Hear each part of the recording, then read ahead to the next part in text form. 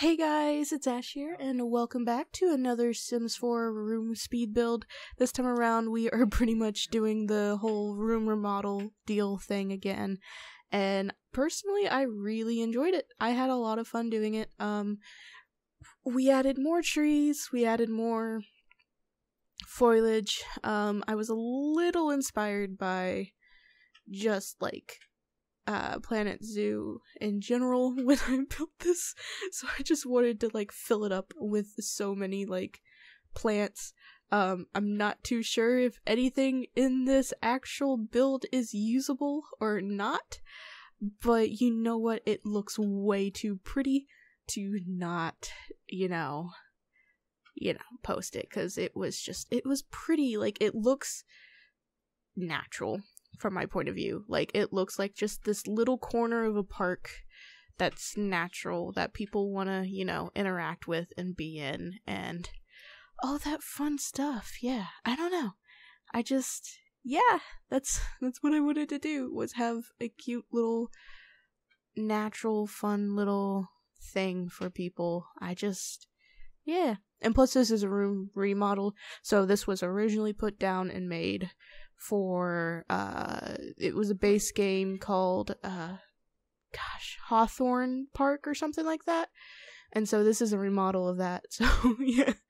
Um i think in general it all just turned out being super cute and i love like the park in general with like the hanging lights and the bike and the chair and it's just it's again clutter central.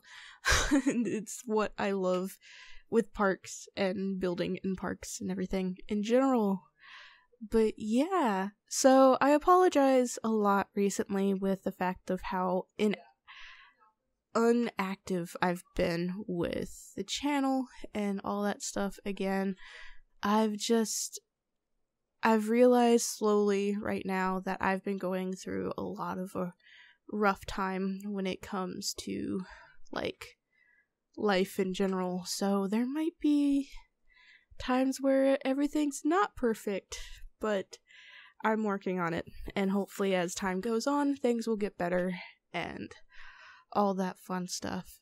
But yeah, I still, I just, I love this little park. I think it ended up being super cute, super adorable. Everything just like yes, it looks cluttered to hell, but it looks so good. Like I love it all so much. It's so great. Um but yeah. So, how's everyone's day been? I hope everyone's been doing good. Um yeah. Yeah. Uh yeah, that that's all I could say. But yeah, I just clutter up. We've got pretty much the original items that were in the pack in the like not pack, but in the build in general. And then we just like add on by four times or three times or whatever.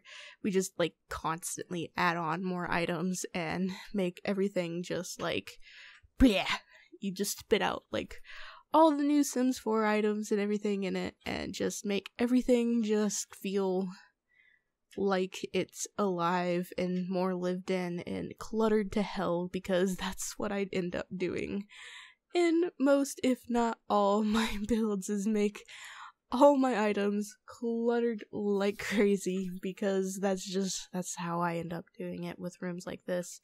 And I just I love the ability to make you know small detailed items like a one room and have it detailed like crazy. Like if I could do this for an entire mansion, it would take me forever to do it.